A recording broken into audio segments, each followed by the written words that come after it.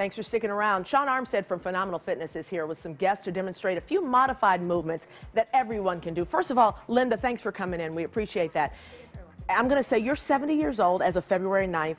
You just started working out three years ago. That's correct. What have you? What differences have you seen? Uh, phenomenal differences. I just feel so much better. I feel stronger. I don't get so out of breath uh, when I'm exerting myself. Uh-huh. And I had some issues with uh, arthritis in my knees. I don't feel that anymore.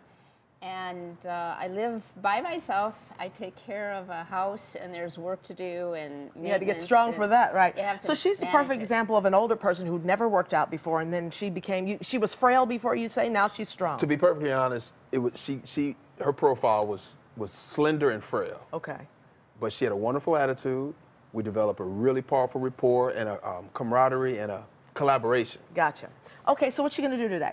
She's going to do a deadlift, and it addresses common corpus of dysfunction in terms of sitting a lot and weak backside. Okay. But and um, she can do a lot lot more than this, but it's convenient to bring a lighter one. Yes. Okay. Here we go. That's deadlift. 26. It's for the lower body, but it's the primary target are the glutes, the backside butt muscles, leg muscles. As it gets heavier, grip, and then stability core work. So her spine needs not to move at all. We need movement from the hip joint, then secondarily the knee joint, and then a distant third, the ankle joint. So now she said she had arthritic knees, but this is okay for that? Yes, because it's what we consider to be a hip dominant move. And she can do it with even less knee bending, Right. which loads the knees less, but Yeah. it brings some of those important knee muscles with it. Now, folks at home, this is a 26 pound kettlebell. Who, if they don't have kettlebells at home, what can they use? A great move to work the backside. If you don't have kettlebells to start the process of working your butt muscles, I see. floor bridges, different variations of floor bridging. And that's doing the same thing. It's doing a similar thing. We, Mm-hmm. in fact, we started her off with that. Gotcha. And just progressed to Because that. this takes skill to develop. Because Right. you have to dissociate keeping this still, keeping this moving, keeping the pelvis moving back and the knees not moving forward. Gotcha. So we it's like crawl, walk, run. Okay. You could drop that lightly. and then you brought in a little trampoline. What's that for? It's for balance, it's for conditioning, it's for leg strength. It wouldn't be leg strength for me, but leg strength for Linda when she first started, and it's leg strength if you combine it with the deadlift, if you combine it with other things. Right. Okay.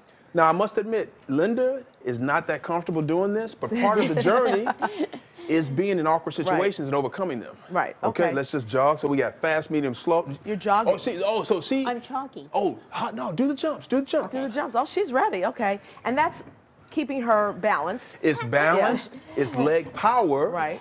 It's leg endurance. Right. It's um, coordination. Now going to the run. Okay. And it's also cardio. It's major cardio, Yeah. and it's a special type of cardio. It's that anaerobic, high intensity, low duration. People think running, that's the only thing you can do for cardio, but it so isn't. So not just that, because because this is for bone density development. Now now try And to take it side to impact side. too, lower than running. Exactly. And which would be good for her knees, right? Absolutely, because the knees need some love. They need some nurturing. uh, Therefore, stress, but not too much. Need to be able to overcome it and come back stronger. Look at you, Linda. You're Nice jamming. job, Linda. So three years later, how do you feel? Great. Great, wonderful. Say anything I love it. that. Thank you, Linda. Now we've got another young lady. Linda, you want to go over there and we'll have Wanda come up. Now, Wanda, you have some issues as well because you were telling me you had some glute issues and some other things, and and this helps you help to get you strong and kind of overcome those things. Absolutely, and not only that, it's helped me through my shoulder rehab. I had a situation where I went to the physical therapist who made contact with Sean and Phenomenal, and um, they collaborated on my reha- rehab. So working together, it, Correct. it, kind of works, and it also is a stress manager for you too. Oh my God, yes, I had some unbelievable stress, and so being able to get into the gym and work with Sean and, and another trainer who Right. was able to help me manage it. Great. So, What are we going to do with her today? So she's going to do some co- a more complicated move. We're going to do some lunge reach. So she's going to lunge down and reach, and she's going to use her leg movement to drive more action to that outer hip or this left hip, and then now the right hip. So it's it's making that hip stronger, right? It's making it stronger, more resilient, and it's putting stretch and tone and strength in an area that really needs it. When we sit a lot, the glute muscles get a lot of stretch, and muscles that get mm-hmm. frequently stretched or overstretched lose their tone, Right. lose their contractile so this is ability. tightening it up a little bit. It tightens it up, and, and then she's change it into another move for the groin, the hips, the Mm-hmm. glutes, the shoulders. And you said this changed your, the way your glutes look. Absolutely. In other words, you got a nice butt now, right? It's a little firm.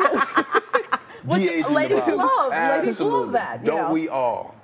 And this was for the, uh, what is this for? So this is for shoulders. Okay. So now this is an isolation move, and she went right in from a complex multi-joint type motion, motion to an isolated motion. And now hit the, in the circle, so we get to stretch the front shoulders and chest mm-hmm. as she goes back, work the side shoulders. Now And the how T. many pounds does she have? She has five. She can do more. Mm-hmm. But for this move, when you have a lot of moves together in succession, it goes to be a two minute, three minute mm-hmm. set. You want a lighter weight because we want to keep the technique really nice as she stays in the session for this. the, uh, isolated to that- to that area as well. In this case, the rear shoulders they take a beating when you sit a lot. Then she has balance here. She's on the hip joint. And this is helping her for the future. She's not 70, obviously, but it's when she gets to 70, she'll be a lot better prepared.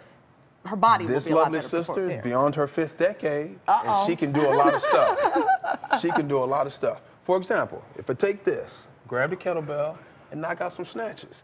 See, it, part of the opportunity with strength, physical development, is developing skills for No, lifting. No, she's not snatching with 26. She's snatching All a, right, a- Wanda. a hang snatch, a dead snatch. Okay.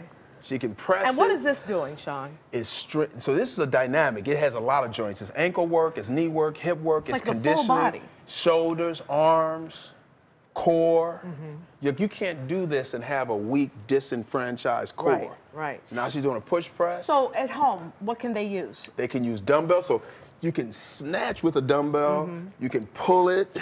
You can press it. What about cans? Using like cans and This things is a like can that? right here. Yeah, yeah.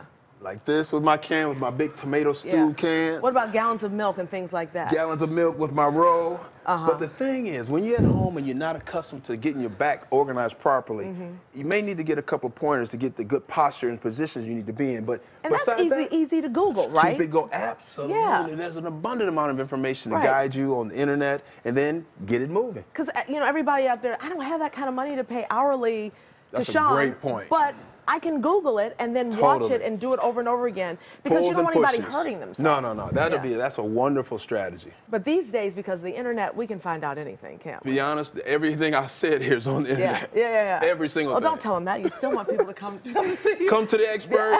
but but Come it to wonderful. I mean, it does change your stress. It changes the whole thing. Phenomenal Fitness lo- is located in Chicago's South Loop at 1450 South Michigan Avenue. You can also find them online at phenomenalfitness.com. Thanks to our guests today, and thanks to you for watching. We're going to see you again next week. In the meantime, we're going to do a little more exercise. All right, all right, Wanda, keep going. You're getting your, you're getting your you, Mike. exercise in for today. Thanks a lot, guys. Non-stop.